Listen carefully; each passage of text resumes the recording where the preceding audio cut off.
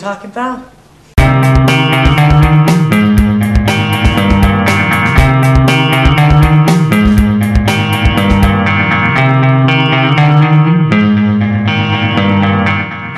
Hear about all those kids going around doing these interviews?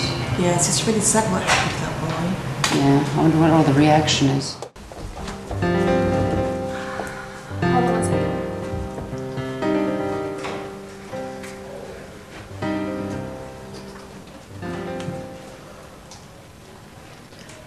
Well, I remember seeing him on the first day, and everyone looked at him like he was kind of weird. But I welcomed him, like I welcomed him to the school and everything, and then he never spoke to me, like again ever. So I was like, what did I do? So I guess he was just kind of different, you know, like who wouldn't want to talk to me? But yeah. He was one of the people in the school I felt most connected with. Um, I always felt like I could help him, you know, try to make a difference to how how he felt. He never really found his place in the school because he wasn't someone who would come to you. You would always come to him. Um, I'm really saddened by what happened. I can't imagine him not being there anymore and not, you know, talking to him, trying to find out what's going on in his head. What's up, man? Hey, man. How are you? Where have you been? At this dumb interview, man, they tried to question me about that gig. Are you serious? Yeah, What did you say? well, I lied a lot. Really? Alright, man. I gotta go to bio. I'll see you later,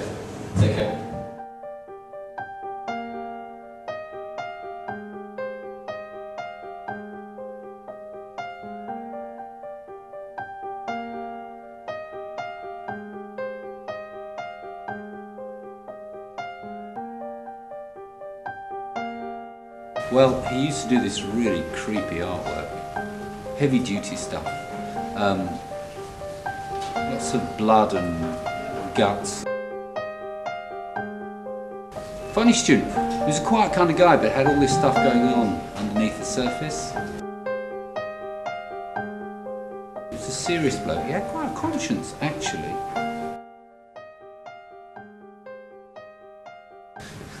Yeah, know. He seemed like a nice guy. I only talked to him a few times. Talked to him not too long ago, actually. Right before a party. I was gonna invite him.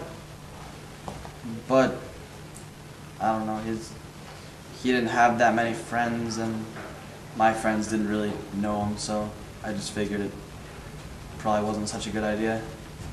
But, now I wish I had. Maybe we've had a good time.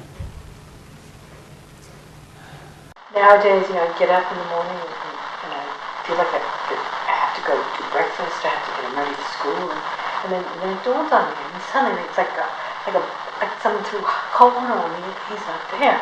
He's gone. My son, he's gone. It, it's devastating. I don't know how to handle it. I feel guilty. I feel remorse. I feel anxious, and anxiety. It, almost feels like it's not living myself. I feel like my love for him has always been so strong, stronger than anything. Maybe stronger than even for my husband or my daughter.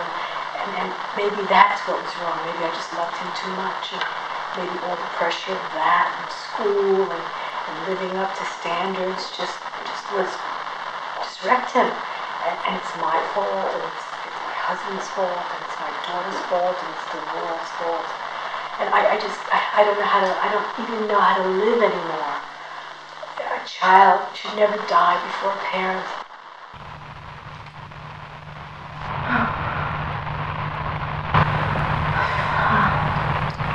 I don't know what to say. I mean, he was my brother. I loved him so much.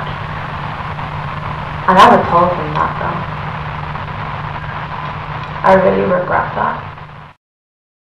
I remember he didn't really get paid very much for the basketball team, but I think he was smart because I copied off once in math class, and I think I got a good grade.